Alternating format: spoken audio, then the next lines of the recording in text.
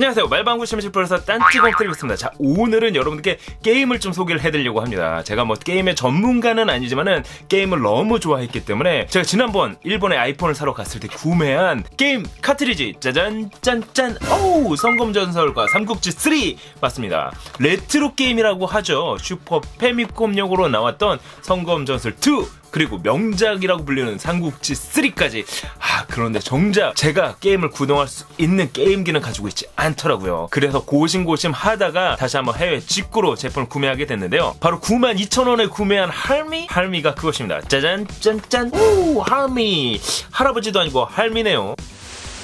자 그리고 제가 일본에서 구매한 게임 카트리지는 정상적으로 작동을 할까요?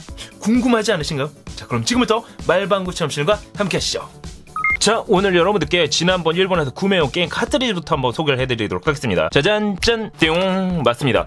8,200원 정도에 구매한 성검전설 2입니다. 어우 우리가 흔히들 얘기하던 곽팩입니다. 네 박스에 들어있는 팩이라는 얘긴데요. 오이 보관이 생각보다 잘 돼 있던 것 같아요. 거기다가 추억의 명작이죠. 야 슈퍼 패미콤 삼국지 3 삼국지 3의 경우에는 1992년도에 출시가 됐었는데요. 삼국지 3를 하기 위해서 고가의 컴퓨터를 구매 구매했던 기억이 나기는 합니다. 삼국지 3의 경우에는 500엔 우리나라 돈으로 약 5천원에 구매를 했는데요. 어우 생각했던 것보다 보관 상태가 너무 잘 돼 있어요. 한번 박스를 열어보도록 할게요.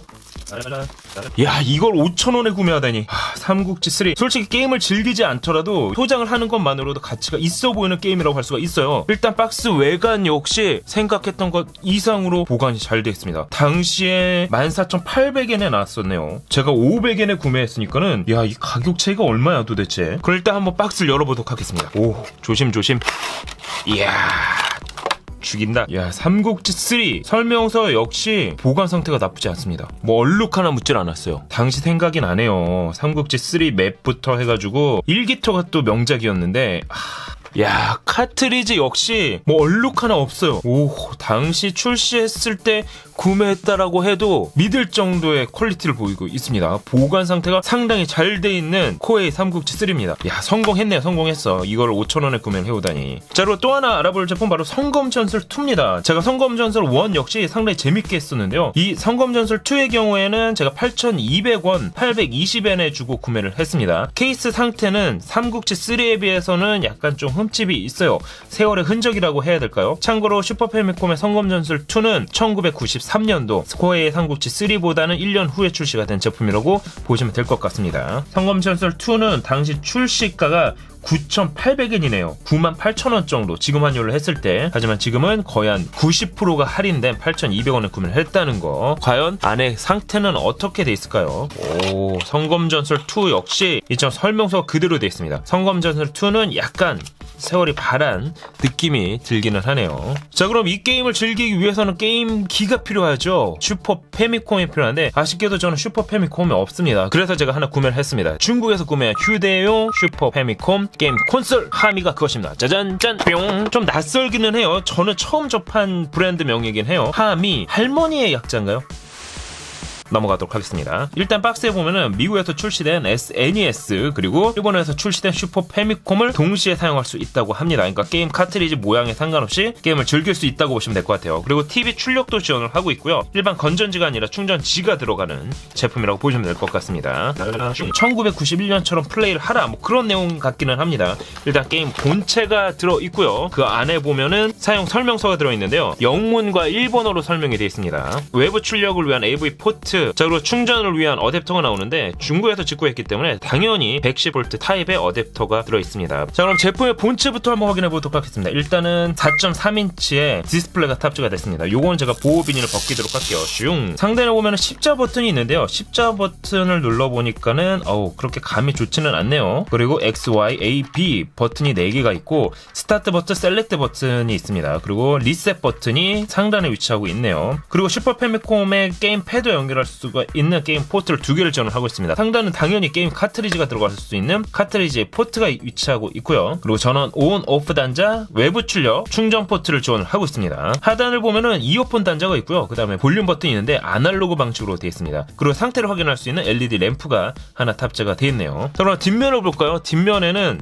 카트리지를 고정할 수 있는 버튼이 하나가 있고요. 배터리 커버가 있습니다. 배터리 컵을 열게 되면 2200mAh의 배터리가 탑재가 되어 있네요. 자, 그럼 실제 게임이 돌아갈까요? 헌검 전설부터 확인해 보도록 하겠습니다. 카트지를 넣기 전에 바닥을 한번 입으로 풀어줘야 될 것 같아요. 게임팩을 넣어주고 뒷면에 이 버튼을 화살표 방향으로 밀어주시면 게임 카트리지가 움직이지 않도록 고정이 됩니다. 이게 소리가 약간 좀 전자음, 기계음이라고 해야 되나요? 지직하는 소리가 좀 크게 들리는데요? 어, 게임이 플레이가 되네요. 야, 근데 이게 디스플레이 자체가 지금 약간 측면으로만 돌려도 보이질 않아요. 밑에서 볼 때는 보이지가 않습니다. 정면에서 볼 때는 그래도 잘 보이는데 측면에서 볼 때도 잘 안 보이고 위에서 볼 때는 좀 잘 보이네요. 하지만 밑에서 보게 되면은 화면이 그냥 먹통이 되는 것처럼 까맣게 보입니다. 패널 자체가 좋지는 않은 것 같아요. 제품에 대한 자세한 스펙이 나와 있지 않기 때문에 어떤 패널을 사용했는지 모르겠지만 어쨌든 IPS 패널은 아닌 것 같습니다. 와 대박. 게임 카트리지의 문제인가 게임 기기에 대한 문제인지 모르겠는데 다시 한번 리셋을 해보도록 할게요. 인식을 못하네요. 자 그럼 다시 한번 아 이제 인식을 하네요. 한 가지 재밌는 거는 이게 제가 중고로 구매하다 보니까는 세이브 파일이 이미 있습니다. 레벨이 99 끝판을 깼다는 얘기네요.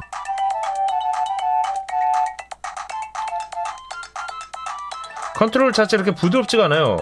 어, 오른쪽으로 가는 거는 그나마 좀 자연스럽긴 한데 왼쪽으로 움직일 때는 살짝 눌렀으면 이동하진 않습니다 다시 한번 꾹 누르면 그때 인식을 해요 야 이 제품의 경우에는 이게 뽑기 운인가? 어쨌든 잘 컨트롤이 원활하진 않습니다 명작 삼국지 야, 오 한번 넣어보도록 할게요. 진짜 추억이 깃든 게임인데. 오, 바로 인식을 했어요. 예전에 PC 버전은 이거 코에이 시작을 할 때 암호키를 입력을 했던 걸로 기억이 나거든요. 왜냐면 이게 정품인지 아닌지 당시에는 이제 종이에 암호표가 적혀 있어가지고 그 암호표를 찾아가면서 코드를 입력했던 기억이 납니다. 어쨌든 이거는 PC 버전은 아니기 때문에 그런 건 없네요. 하, 이 사운드 딴 딴 딴 딴 딴 딴 당시에 무슨 말인지도 모르면서 그냥 플레이했던 기억이 나는데 당시는 옥편이죠. 옥편을 찾아가면서 게임을 했던 기억이 나긴 합니다. 이것도 역시나 세이브가 돼 있네요. 야 지도가 지도.